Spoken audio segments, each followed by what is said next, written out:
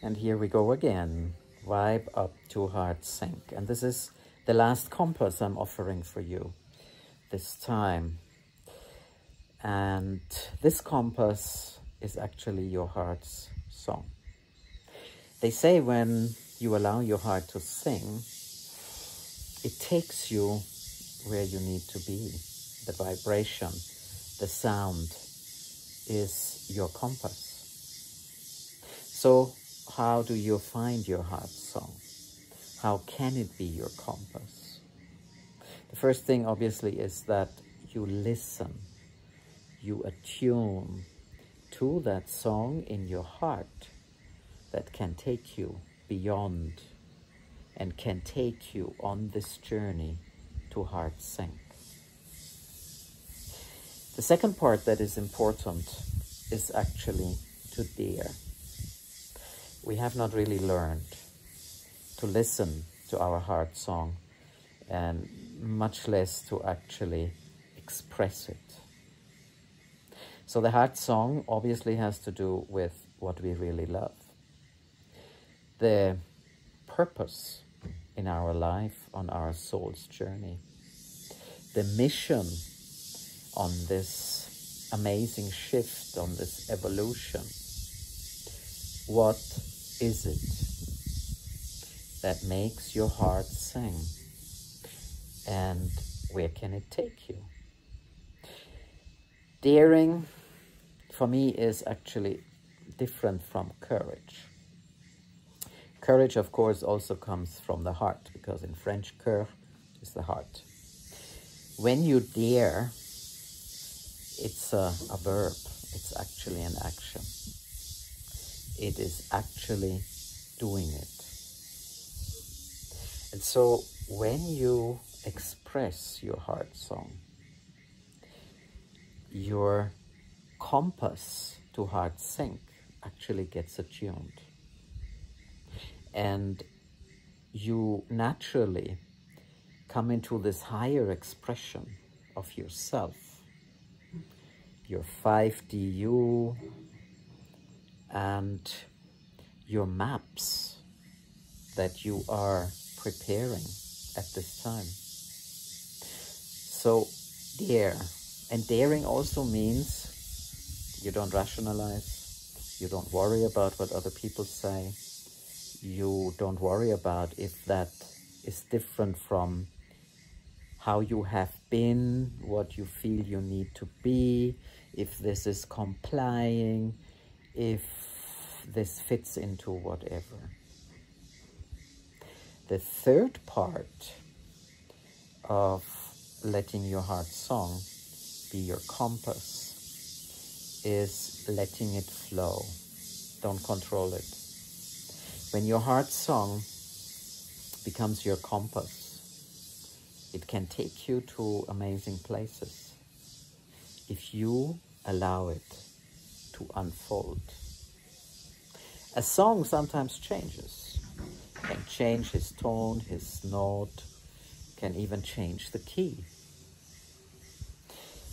As we are allowing our heart song to be our compass, it will just take us there.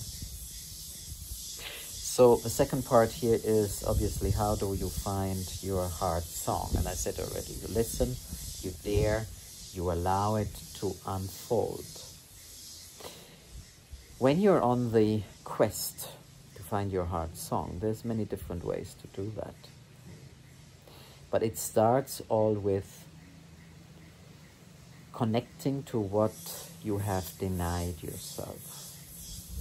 So what you love so much, but what doesn't fit into the labels and conditions, programs and the paradigms, maybe you have grown up into. And so it requires actually that you break a lot of circumstances, a lot of energies that hold you and separate you from your heart song. So I'm inviting you to break whatever stops you from listening to your heart song and making it your compass. To two hearts sync. Of course, they obviously have a relation, the heart song and the heart sync. Through your heart song, you're connecting to your source fractal, to that unique part of you, to your heart light, whatever name sounds good for you. And that song has the vibration of these new octaves of consciousness. And it sings together with the seraphims. And it sings together with this new vibration of the Aquarian age. So it's not only you, your heart song. When you make it your compass, you are entering this orchestra,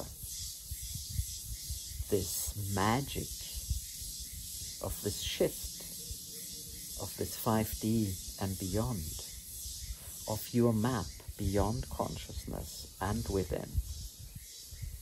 So this is a wonderful, absolutely glorious place to be. And it's not like if you choose your heart song to be your compass, that you don't need the Chakana or you don't need any other compass or the architecture of your heart. Actually, they are all one.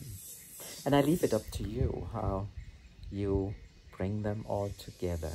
They just have different notes. They just bring you different ways to heart sync. But yes, a compass is a very nice tool.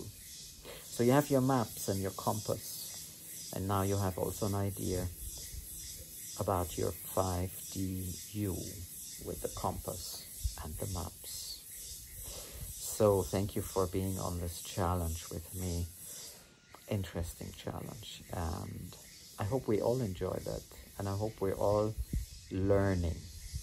Surely for me, making videos like that and putting myself on a challenge to vibe up and heart sync together with you was an amazing journey. It's not quite finished yet. I still have the fourth video in the in the compass, but it surely has opened me up to share, to connect, to bring through the wisdom that is given to me for all of us so that we are able to vibe up and heart sync into this new space, into this new age, into this new consciousness that is for all of us.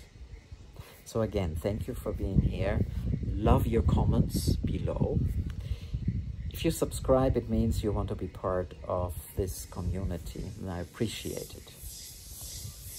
The like always looks good, but the comments are even more important. And much more important is that we are coming together in this journey of vibing up and heart syncing. So see you soon from my heart to yours.